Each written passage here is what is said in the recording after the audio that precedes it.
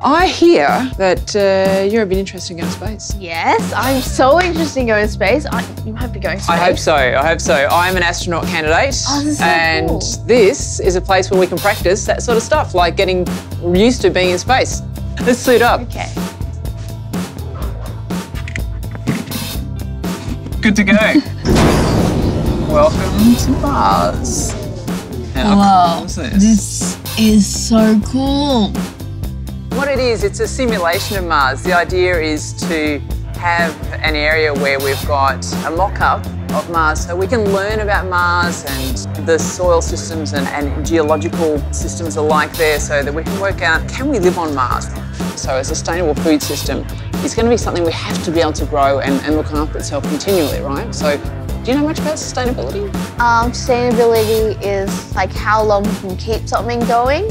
Yeah, yeah. So sustainability, it's uh, really important to think about. We have to use what we have so intelligently so that it's available for us to continue to use in the future.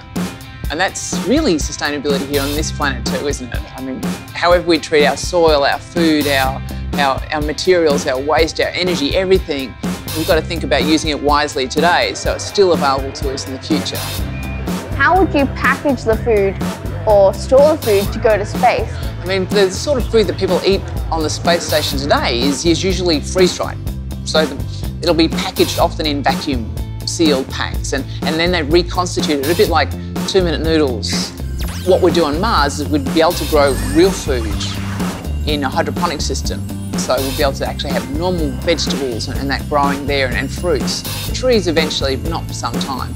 Um, so, but that means we won't have to package them we can just plant a seed and it will grow because there's gravity, so roots will be able to actually establish themselves. Imagine the first salad that you have on Mars after seven months flying to Mars with freeze-dried food. And you get to Mars, and then you've got to grow the food. How long does it take for lettuce to grow? Um, a few weeks, few months. few weeks, even? few months, exactly. So it's going to be months before you get your first salad.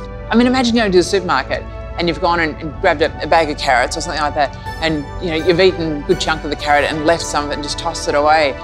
How long has it taken to grow that? Oh yeah, and then you're not eating all of it, you're just throwing it away. It's throwing it away, and how many nutrients that have been disposed of? How much water has gone into growing that that carrot, and, and what about all of the all of the nutrients in the soil as well that have now gone? That who knows where they're going? They're going to landfill, maybe.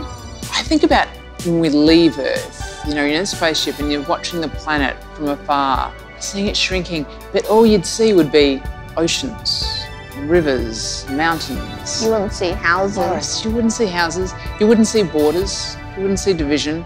You would just see life. We have this extraordinary planet, so lush with life. What can I do? What can we all do to preserve it?